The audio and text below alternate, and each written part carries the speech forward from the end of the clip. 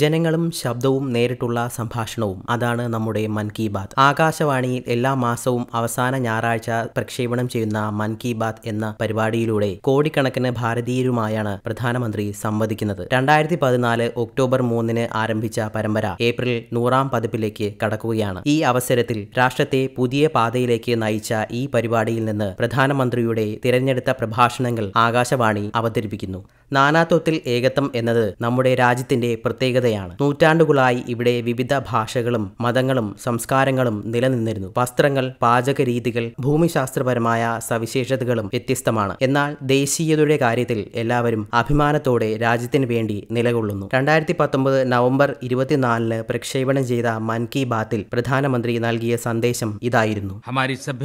സംസ്കൃതി ഭാഷായേ പൂരെ വിശ്വ को വിവിധതാ മേ ഏകതാ സന്ദേശ സന്ദേശ് देती 130 करोड़ भारतीयों का यह वो देश है जहां कहा जाता था कि कोस कोस पर पानी बदले